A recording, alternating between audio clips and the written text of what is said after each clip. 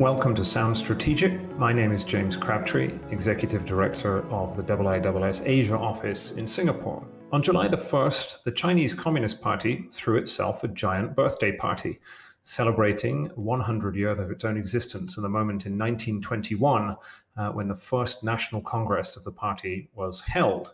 Uh, the streets of Beijing thronged with celebrants, loyal party members, to mark not just that 100th year of the party, but the rule of the party for 72 uninterrupted years in China, in a country in which the party, rather than the state, calls the shots. This is a moment when the Communist Party is ever more central uh, to China's politics, but also to its security policy at a time of growing assertiveness under President Xi Jinping and growing rivalry with the United States. So, to talk about the Chinese Communist Party at 100 and what it means for China's domestic and international outlook, I'm joined today by two of the IISS's uh, most knowledgeable China watchers. First, our usual podcast host, Meia Nouwens, who today swaps into the role of guest. Uh, Meia is Senior Fellow for Chinese Defense Policy and Military Modernization here at IISS. Uh, and she has a range of expertise looking at defense analysis, regional affairs, um, as well as defense industry innovation. And she leads IISS's research on China's digital Silk Road. We're also joined by Nigel Inkster, who is the Institute's senior advisor for cybersecurity and China, and who assists on all manner of China related research. Um, with a particular focus on geopolitics and technology, uh, which was the subject of a recent book that he published last year. Uh, prior to joining the IISS, Nigel worked for more than three decades in the British Secret Intelligence Service, including in China and covering China, uh, leaving at the end of 2006. So, Meia Nigel, welcome. Let me start with you, Meia. The Communist Party, as I said, turned 100 in July. Why is this anniversary important and what does it signify? Thanks, James. And to say, first of all, that it's uh, great to be on the other side of the microphone, if not a little nerve wracking. For the CCP, I think this really signifies exactly as you said that despite the challenges that it has faced over the last hundred years since its founding, in the 72 years that it's been in power, it hasn't just survived as it sees it and how it portrays itself. Uh, it has thrived, and China has thrived for it. Uh, supporters of the CCP, of course, argue that China wouldn't and couldn't have become the great power that it is today without the CCP, uh, and that the CCP is leading the rejuvenation of the Chinese nation towards achieving what Xi Jinping has said uh, is the China dream. And this, of course, will signify not just um, domestic strengths and successes, such as the eradication, as Xi Jinping has uh, proclaimed, of extreme poverty or its handling of the COVID epidemic, which it sees as uh, unrivalably uh, positive and successful, or the socioeconomic economic growth that we've seen in China, or indeed uh, its technological prowess. But as you rightly say, of course, also a return of China to this global center stage in more than just political and economic, but indeed also in military terms. So, in this sense, I think what all of this signifies to a certain extent is that we've seen a party that has graduated from being almost obsessed with this narrative of weakness and being humiliated at the hands of foreign powers for over a century and has almost crafted that into a new narrative of a China that is more forward looking, more confident, and is really moving towards the future of becoming a, a great and greater power. Just before we turn to Nigel, could you explain for our listeners who may not be familiar with the Chinese system or as familiar as the two of you are, the relationship between the party and the state? In China because it's very different from what you would expect in many other countries. This is something that I wanted to touch on later in, in the conversation because it has been a significant change that we've seen uh, under uh, President Xi's rule. I mean, during the Deng era, what we've really seen was a creation almost of a parallel system between the party, with such the direction of uh, of the country, uh, end of the country's politics and a state apparatus that implements that uh, and also has uh, some levers of control. Now, what's of course changed uh, through all of this is uh, that Xi Jinping has raised that profile and the predominance and power of that party structure. Uh, and then that features now first and foremost uh, within uh, Chinese politics, both domestic and foreign.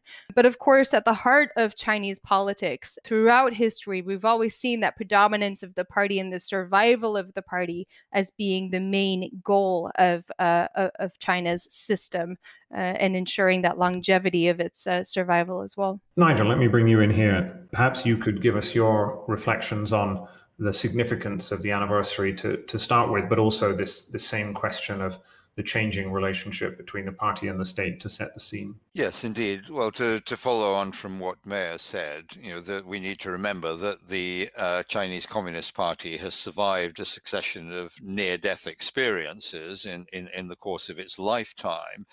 And uh, probably um, even in the 1990s, not that many people would have uh, confidently predicted that it would be where um, where it is today. The fact is that what the party seeks to do now and through this anniversary is is to present this as an inevitable outcome um, or, or of historical determinism. You know, the the, the party um, as you know um, a vanguard elite organization has understood you know the work the scientific as they would put it workings of history they've got on top of this. You know they're riding the wave and none of this would have been possible had the party you know not been in control.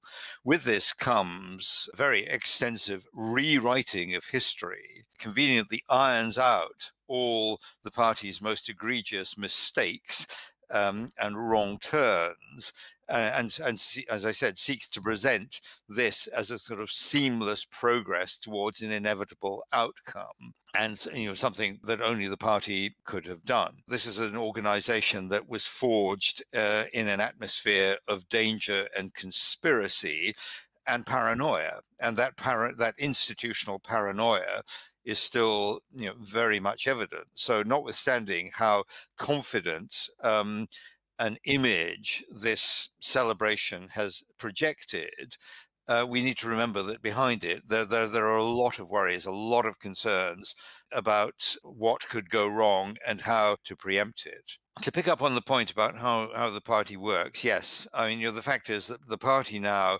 has moved back, you know, in, in a sense, under Deng Xiaoping, you could think of the party as the sort of board of directors whilst you know, state or organizations and ministries were were the workforce. You know, they're they're the ones who actually did it, but you know they didn't have an opinion on what uh, uh, needed uh, to to be done.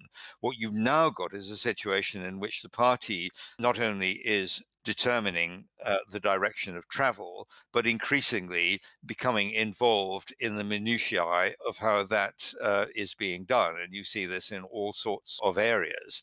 And so, certainly under Xi Jinping, we've seen a much more proactive, hands on managerial approach to addressing some of the more chronic and intractable challenges that, that, that, that China faces. So it's a much more kind of hands on thing. One thing I think when people look at China, they tend to overlook. I mean, everybody's sort of well aware of the party as a very powerful organization dedicated to the pursuit and retention of power um, with a record track record of effective delivery, if sometimes brutal. They overlook um, a thing that Mao Zedong used to talk about, which was the mass line, the way in which the party devotes enormous time and energy to sort of getting um, into the people and and really kind of understanding what they think, what they want in ways that are you know not typically associated with uh, authoritarian or totalitarian regimes. They do you know expend enormous effort trying to keep a finger on the pulse of China. And that's getting more complicated as Chinese society gets infinitely more complicated. Well, let's talk about that now. So, you both talked about uh, President Xi and the fact that the party has become stronger and more central under under his rule. So, Meia, why is that? Why why is the party so central to Xi's project? Why why has he sought to not just rejuvenate the Chinese nation, but to rejuvenate and strengthen the role of the Communist Party as well? Well, I think that's the case for a number of reasons. For Xi, actually. Uh, the rejuvenation of China is almost uh, become a, a personal brand of his leadership. And I think this vision for uh, a great China is something that he sees uh, it, it is time for China to capitalize on and also something that, of course, only he can actually deliver upon. Uh, so for Xi Jinping to actually be able to do that, I think he's looking from his perspective potentially at uh, his predecessors, who of course had also uh, attempted to enact reforms, had not gotten very far. If you look, for example, at uh, Hu Jintao and uh, Jiang Zemin's ability to control or, or exert control over the PLA, that necessarily didn't go very far and reforms weren't enacted. So, in a certain extent, uh, leveraging this um, vehicle of the party uh, and of party centrality and party control allows Xi Jinping to build within that a system of uh, support and obedience and allegiance to himself uh, to enact uh, some of what he thinks are the most pressing changes that need to be made uh, in China. And of course, we see this through the almost ruthless uh, anti corruption purges that occurred uh, since he came into power, uh, the purging of tigers and flies, as he named it, throughout the country. The greatest contradiction here is that this ever increasing control that uh, President uh, Xi uh, through the party seeks to amass, um, uh, in fact, actually has the ability to destabilize China and to put China on a different track and perhaps a less successful track than it has been in the past. And I'd point here to, for example, uh, the changes within uh, liberal Chinese academia, uh, so the gagging of liberal uh, professors at elite universities, the persecution of human rights lawyers, of heavy internet censorship, uh, the restrictions on academics and think tank experts about who and where and how frequently and under what circumstances they can engage with foreign counterparts to discuss and gain uh, knowledge and exchange ideas.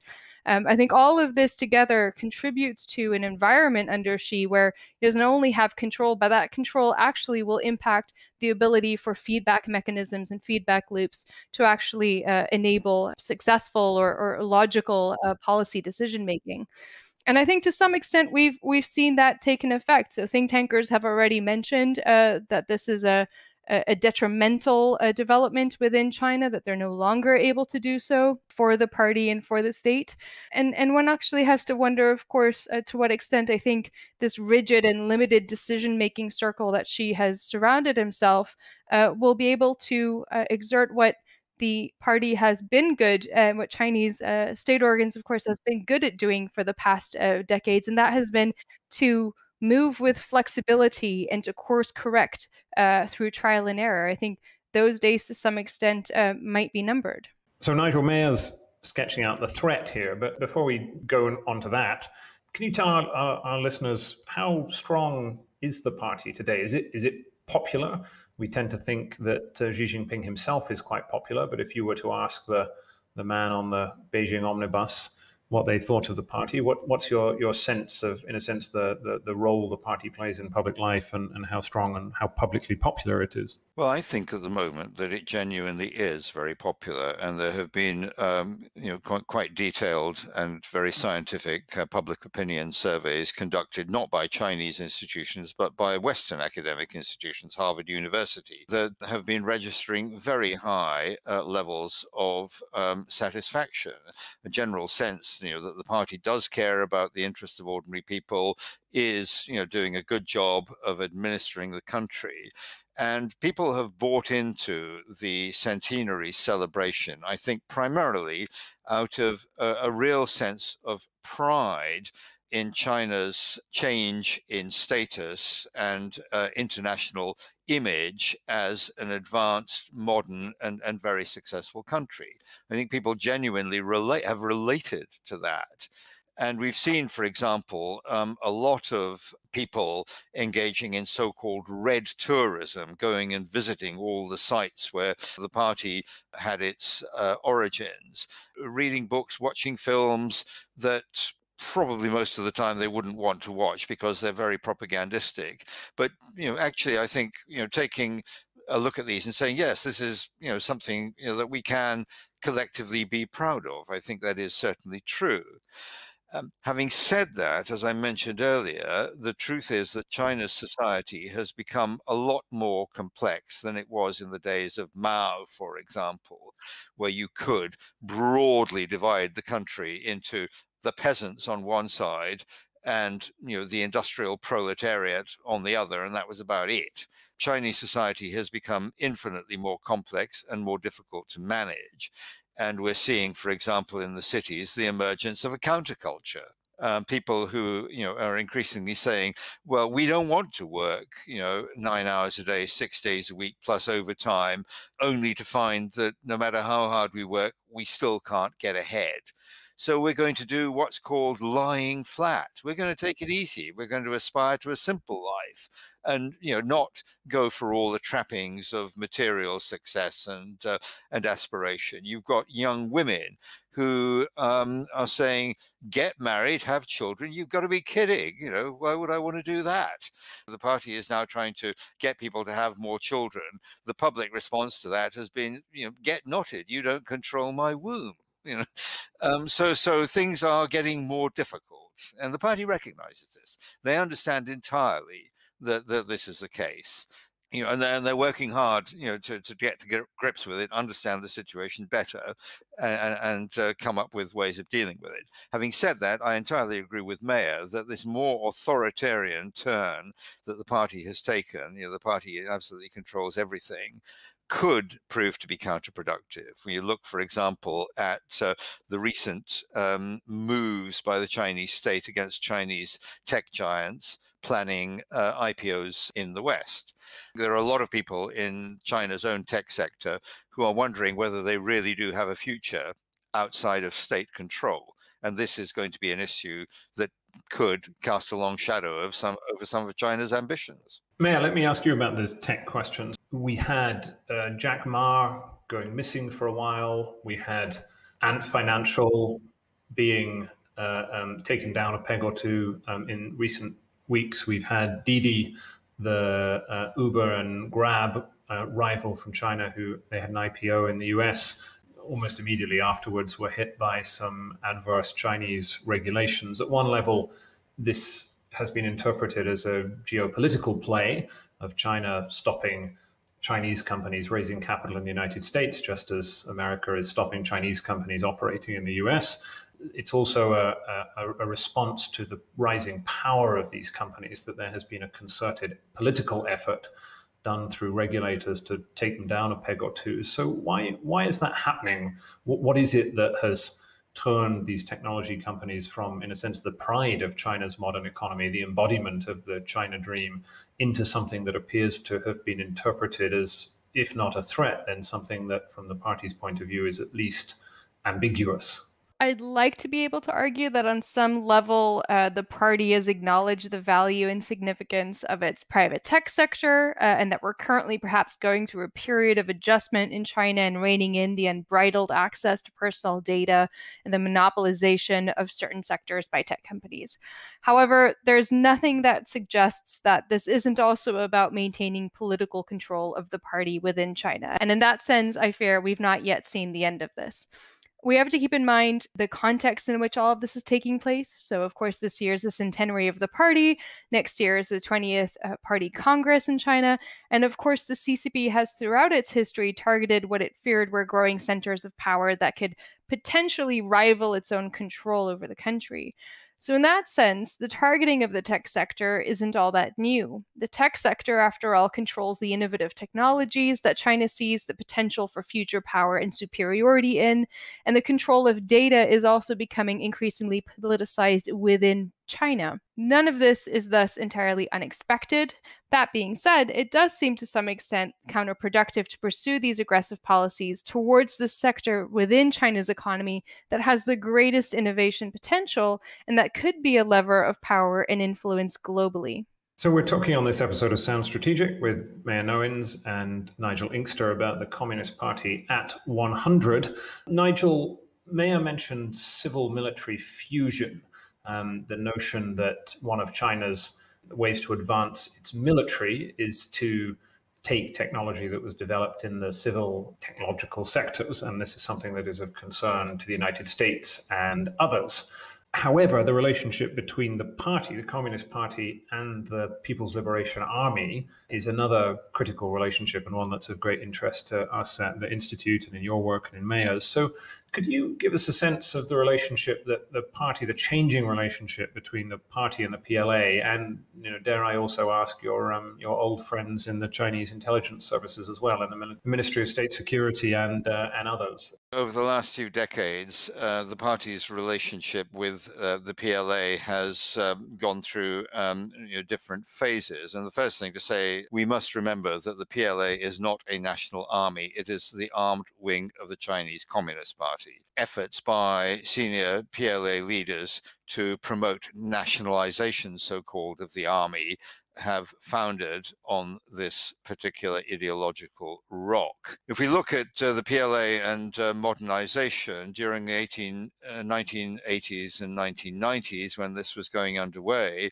PLA were basically at the back of the queue for modernization, but were given a lot of leeway to uh, pursue commercial initiatives, arms sales, etc and a lot of generals got very, very wealthy and rather sort of, you know, sort of lost, shall we say, their, their martial inclinations and uh, needed to be kind of brought to heel and reminded what their primary purpose uh, actually was. You know, this culture of corruption existed in the PLA was a major challenge for Xi Jinping himself and something he put a lot of effort into trying to, to get a grip on and essentially reminding the PLA that they were under party direction and needed to remember who, who, who their master was.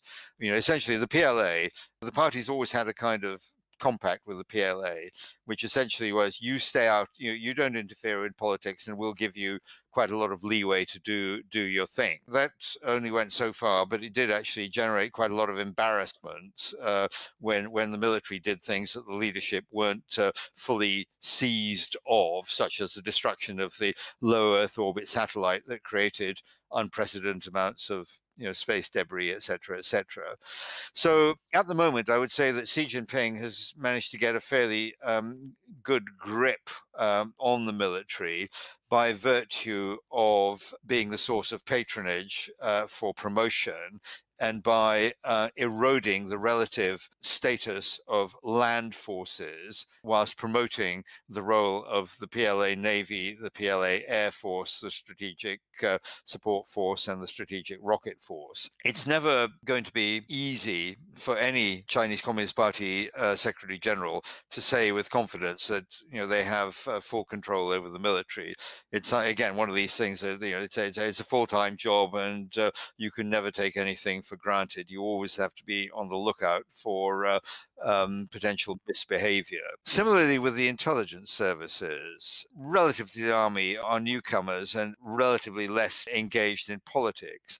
But we've seen the intelligence services uh, fall under corrupt patronage networks in the pre Xi Jinping era under Zhou Yongkang when he was uh, the head of the party's political and, and, and legal committee, you know, having previously been a big player in China's oil and gas sector. And, and while Zhou Yongkang was in this position, it's almost as if, to use an American uh, analogy, you know, the director of Central Intelligence um, and the director of the FBI was also um, the head of ExxonMobil and the mob. That was kind of you know where Zhou Yongkang sat, and he'd brought particularly the Ministry of State Security into his corrupt patronage network. And this is something that Xi Jinping has been trying to uh, address through a succession of rectification campaigns, which also affect the military. It's about professionalization. It's been about professionalization. We've seen a lot of work on professionalization in the Chinese intelligence services, but it's also about political loyalty, reminding people you know where their loyalties are who they're actually working for and you know seeking to eradicate any evidence of you know uh, foot dragging or you know contrarian opinions taking hold within these organizations we wouldn't want any contrarian opinions. That might be dangerous. Meia, you wanted to come in on this point. Just on that point, exactly as you just said. I mean, we only need to look back to Mao's own words in 1929 when he warned of the dangers that could result if military leaders were allowed to prioritize military accomplishments over political competencies. And we have seen today and in recent years since President Xi Jinping has been reforming this, uh, this military organization, uh, the PLA that there's this focus on um, building combat readiness and actually serving the purpose of being able to fight and win a war. But on the other hand, there is a vast amount of effort being uh, built into this system uh, and exerted to uh, actually work along you know the three political work systems uh, that are still alive and well and those include for example party committee systems throughout the pla uh, the political commissar system and the political organ system and with all of this in mind, of course, it begs the question to what extent the PLA will be able to conduct its operations and its work efficiently in a flexible uh, manner with decision making being brought down to lower ranks uh, within the military and making it less of a, a purely top down environment and, and decision making body, whilst on the other hand, having to continuously judge uh, scenarios with keeping the political commissars and their preferences in mind. So, in that sense, we're coming up to a contradiction at the moment through which the uh, Chinese Communist Party, I think, is very well aware of the dangers uh, of uh, full military modernization and what that means perhaps for party loyalty rather than country loyalty in military operations. If I may add at this point, uh, Meia,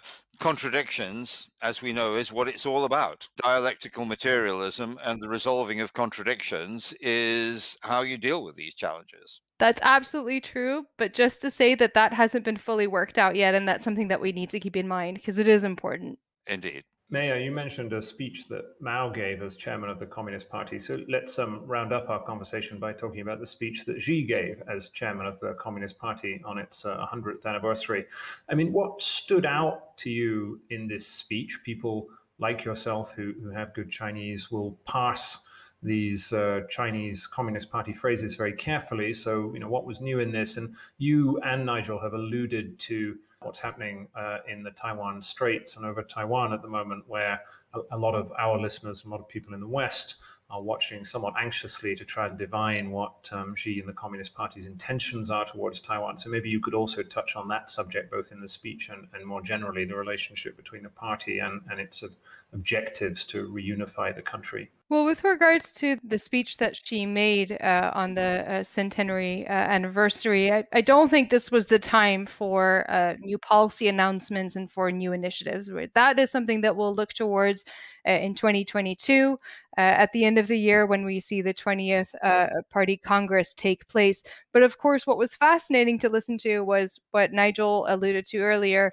that revision of history almost, that the focus, an intense focus of uh, the glories of the CCP's history rather than uh, the acknowledgement of some of the problems uh, that it has faced throughout its rule and some of the extreme uh, implications that those have had, such as the Cultural Revolution and uh, the Great Leap Forward for average Chinese uh, citizens. That was not mentioned, that was left out of the speech. And, and I think that again points to that um, concern of uh, historical nihilism, as Xi Jinping calls it, uh, with regards to uh, defacing the party's glory, but also usurping, perhaps uh, through evil hands, the uh, the party's ability and power to rule. What I thought was also quite noticeable was the tone of the language in Mandarin that was used. Phrases that sound very aggressive when translated in various different ways uh, in English, um, but are actually quite straightforward phrases that everyday Chinese people will be able to understand very clearly as to what they mean. And we're talking here about phrases that allude to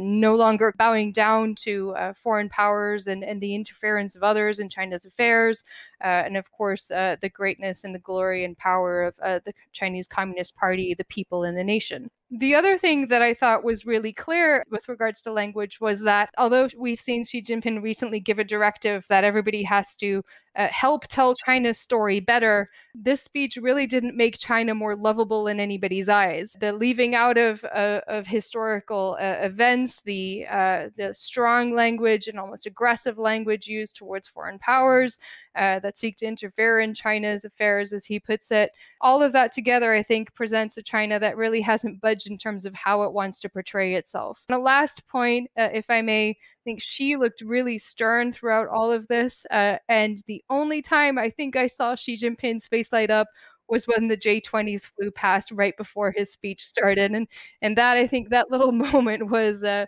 was quite something to see. So, Nigel, let me give the last word to you. Meia has already mentioned that we have the 20th Party Congress coming up next year. We're expecting um, a next round of big, ambitious goals from the party, having Uh, ended poverty and achieved various other long, long fought for um, objectives. If we, we're at the 100th anniversary, how do you see the next five or 10 years panning out for the Chinese Communist Party? Are, are, things, things looking up or are things looking more challenging? Things are starting to look a bit more challenging. And if the party were honest with itself, it would acknowledge that a lot of its success has been down to luck. And some of that luck uh, looks a bit uh, as if it's about to run out, particularly in the international arena. What were once uh, tailwinds in terms of willingness uh, of other countries to help China integrate into into the global system are, t- are, turning into headwinds now. The international scene for the Chinese Communist Party is, is much more complex and conflicted than it's been for some time. Meia talked about the fact that um, you know, Xi Jinping in his speech did nothing to make China seem more lovable. And I think that simply reflects the fact that for the Chinese Communist Party, they look at the rest of the world and see a lot of threats and a lot of challenges, which under Xi Jinping's concept of comprehensive national security need to be uh, you know, addressed and preempted before they uh, acquire critical mass, does not, to me, uh, translate into any prospect of China trying to make itself more lovable um, in, in, in the foreseeable future. I expect China to continue to adopt a more assertive and more, you know, so to speak, challenging uh, tone um, in, in, in international relations. I think when it comes to managing uh, events within China, it's harder to say which way the, the, the party is going to go.